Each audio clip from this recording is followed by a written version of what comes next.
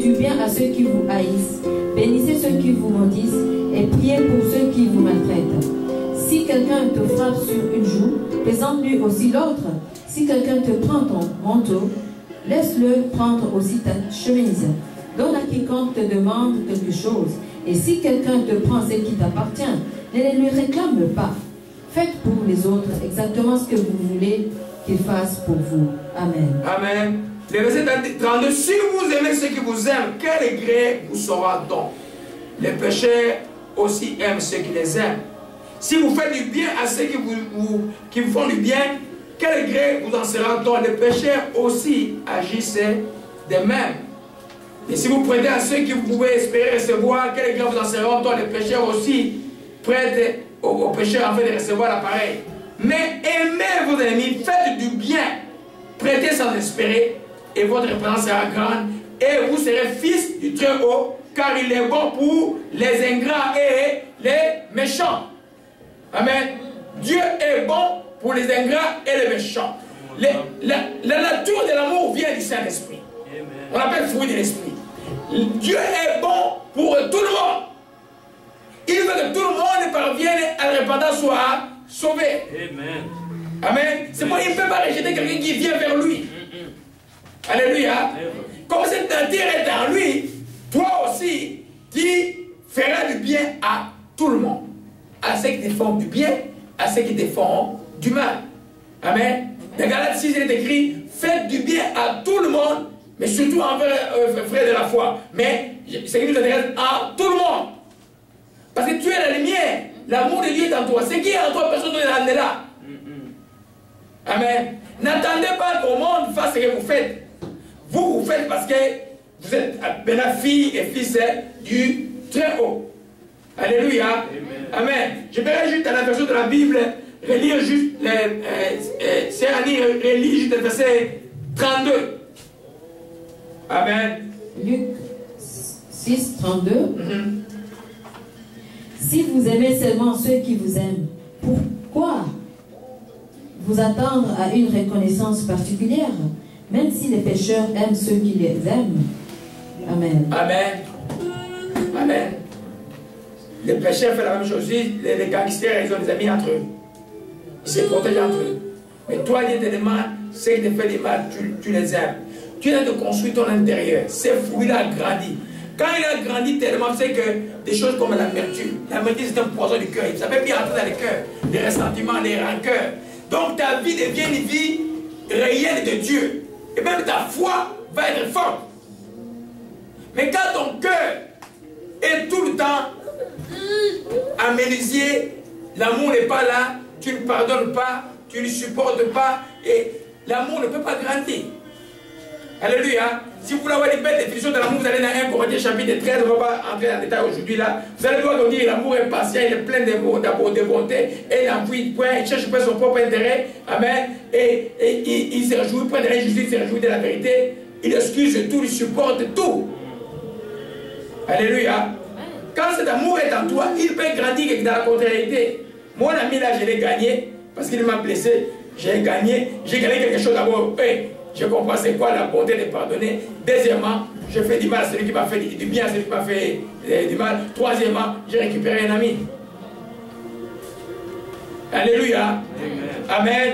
Amen. Donc, dans les épreuves, euh, euh, souvent dans les épreuves, nous prenons l'exemple des pays, par exemple. Je ne vais pas me construire des pays. Regarde, j'ai parlé dimanche passé au, au Congo, avant 70.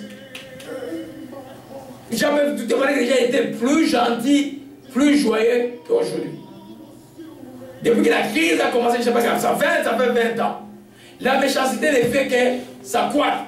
Nous avons des prophéties bibliques qui dans les temps, la méchanceté va s'accroître. Mais aujourd'hui, c'est encore pire, même intrafamilial. À cause de la précarité. À cause du manque. Celui qui, je, disais dimanche passé, si un non-croyant passe une épreuve, je me dis que même s'il était bon, un bon boss, il voit que ses, ses, erreurs commencent à disparaître, ces choses commencent à il va devenir méchant parce qu'il ne connaît pas Dieu. Parce que dans la précarité qui se passe, l'égoïsme est là. La charité diminue.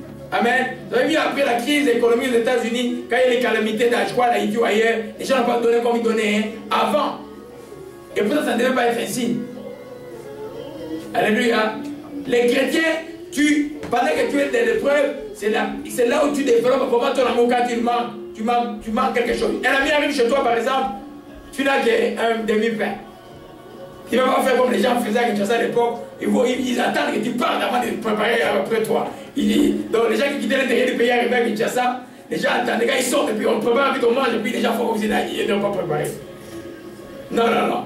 Toi, le pain que tu as, le pain que tu as, le demi-pain que tu as, quand un ami vient te voir, si tu lui donnes ça, tu développes ton amour. Et tu vas voir que tu ne manqueras même pas de pain. Alléluia.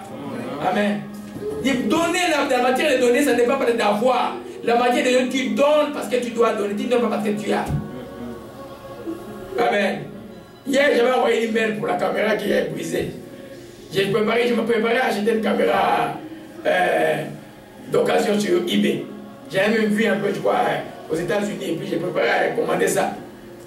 Et puis, euh, un frère me dit, mais euh, pourquoi tu as ajouté là que ça n'est pas ce que vous allez donner, et puis tu dois... Non, non, non, moi je donne ça parce que tu vas acheter un œuf pour Dieu. Mais je sais qu'il n'a pas beaucoup d'argent. Amen. Je sais qu'il n'a pas beaucoup d'argent. Amen. Et puis, ma soeur, ma soeur qui, qui supporte ma grande famille au Congo, là, a envoyé instantanément. Parce que donner, ça n'est pas parce que tu as. Alléluia. Amen. Amen. Donc, c'est dans la précarité que les enfants doivent démontrer. C'est pourquoi l'épreuve, quand il vient là, c'est le moment d'occasion que Dieu te donne pour que le fruit de l'amour grandisse en toi. Amen. Pendant l'épreuve, on devient impatient. Pendant l'épreuve, on devient irrité. Pendant l'épreuve, on devient même orgueilleux, vous savez. Tout, ça, tout ce qui est dans, dans, dans 1 Corinthiens chapitre 13, dans l'épreuve là, vous allez voir l'inverse de ça. Quand on dit l'amour est, est, est, l'amour est patient, dans l'épreuve, les gens deviennent impatients. Quand on dit l'amour est plein de beauté dans l'épreuve, les gens deviennent méchants. Pas parce qu'ils sont méchants, parce qu'ils ne connaissent pas Christ, parce que c'est sur quoi ils comptaient n'existait plus. On a vu ça pendant les verglas, à celle des gens qui étaient là, là où on regardait les gens, des, des, où on regardait les gens. Mais les gens commençaient à se précipiter, de chamailler tout le temps.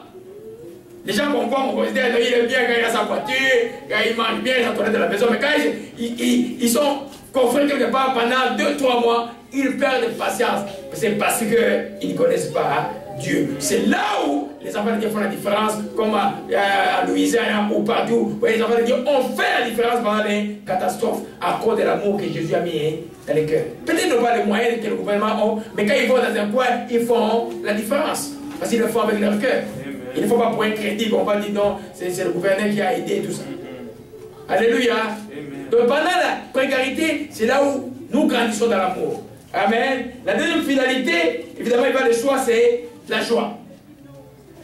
Amen. Moi, je suis quelqu'un de joie. Quand il me voit fâché, c'est je suis vraiment fâché. Amen. Généralement, je suis toujours joyeux. Même des morales mais je peux. J'ai ri avec les enfants. Comme Quand je suis fâché, ça, que papa est fâché. Amen. La joie du Saint-Esprit, la manifestation de l'Esprit, c'est quelque chose de permanent qui doit être dans la vie du croyant. Je donne un enseignement, c'est cette raison pour laquelle vous êtes dans la joie, et c'est dans le site, là, vous pouvez regarder ça. Alléluia. Et je vous dis que cette joie-là se manifeste toujours dans la précarité. Amen. Tu dis quoi quand tu vas avoir des millions demain, tu vas avoir une voilà. Tu te tu vas avoir des soucis demain. La joie, tu l'as parce que Christ et Jésus est dans toi. Le Saint-Esprit, dans sa manifestation de l'esprit de joie. Comme on est dans le louange aujourd'hui là. Alléluia. Amen. Amen. C'était l'esprit de joie. Amen. Donc, nous voyons, allons un peu dans Jacques chapitre 1. Amen. Jacques chapitre 1. Non, non. 1 Pierre 4 d'abord. 1 Pierre 4, verset 12 à 14. Ça, c'est plus expressif. Amen. Amen. 1 Pierre 4, eh, frère Paulin, verset 12 à 14, rapidement. Amen. 1 Pierre 4, 12 à 14. Amen. Mais bien-aimés, ne trouvez pas étrange d'être dans la fournaise de l'oppresse, comme si vous arrivez quelque chose d'extraordinaire. Réjouissez-vous au contraire de la part que vous avez aux souffrances de Christ, afin que vous soyez aussi dans la joie et dans l'allégresse lorsque sa gloire apparaîtra. Si vous êtes outragés pour le nom de Jésus-Christ, vous êtes heureux parce que l'Esprit de gloire, l'Esprit de Dieu repose sur vous. Amen. Amen. Je veux que ce soit clair. Outragé, vous comprenez c'est quoi? Si vous êtes insulté, si vous êtes rabaissé, si vous êtes humilié à cause du nom de Jésus, Amen. Soyez heureux. Il dit, vous êtes heureux. Amen. Vous êtes heureux. Quand les gens au travail te dénigrent parce que tu es chrétien, dites que je suis heureux. Amen.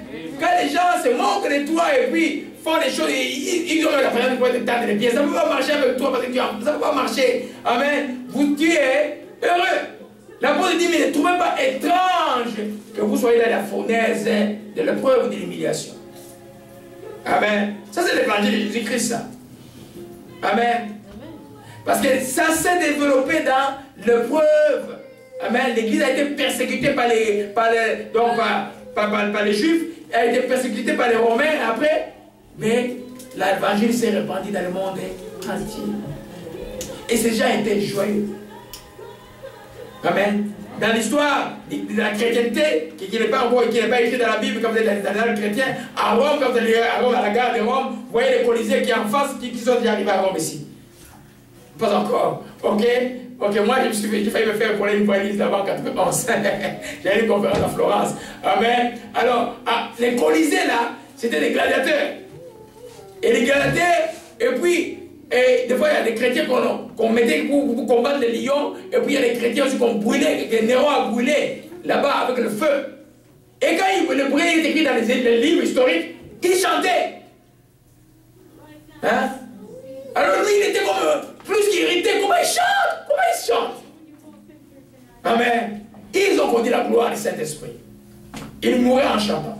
Pourquoi je vous parle de l'histoire ancienne? La Corée, ici, vous voyez la Corée du la guerre de Corée, là. Quand les, communistes ont pris le Nord, là, qu'est-ce qu'ils ont fait les chrétiens? Quoi dire à Jésus-Christ Peut-il renoncer à Jésus-Christ? Non. Pour toute la famille, on le dit.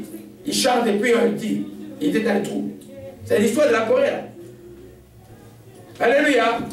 Aujourd'hui, vous mangez les spaghettis ici, les petites épreuves là. Maintenant, vous, ça commence, il y épreuves. Donc, je viens à Calgary, et un, frère avait de prêcher sur c'est pas à Calgary, là où c'est chrétien. Les policiers venaient l'arrêter. Alors, il y avait une réunion des gens pervers quelque part, là, on ne les avait pas arrêtés. Amen. Lui aussi, c'était un têtu. On l'a arrêté, il a continué. Il est encore on l'a arrêté, il est revenu encore. Alléluia. Amen. Amen. Pourquoi Dieu a fait ainsi? Parce que dans la précarité, c'est là où tu sais que le Saint-Esprit te le montre. Tu vois, hé, ce qui m'arrive, ce n'est pas de moi. Alléluia. Un exemple pratique, vous connaissez, c'est mon exemple de Actes, chapitre 16 de Paul et Silas. Alléluia. Arrêtez dans les prisons, arrêtez pour avoir délivré les femmes de l'esprit de Python. On les a battus. Et puis, la nuit, commençait à chanter le louange du Seigneur, la joie du Saint-Esprit et la terre a tremblé. Alléluia. La terre a tremblé. Amen. Donc c'est important que tu comprends, ma, ma, soeur ou mon frère, que, et surtout l'épreuve, parce que tu es en Jésus-Christ, ça fait partie de là. Les vraies églises de Jésus-Christ seront toujours persécutées. Regardez, dans les pays comme la Somalie, ils ont des problèmes aujourd'hui, il y a quelques 3-4 ans. Et l'Érythrée, là, on garde les églises conventionnels baptistes, ils sont calmes. Mais quand tu es une église de réveil où le Saint-Esprit agit, ils sont en prison. Ils sont arrêtés. En Érythrée, là. Amen. Parce que je, communique avec euh, euh. Et là ça donne une nouvelle de tous les chrétiens persécutés pour on prie pour eux.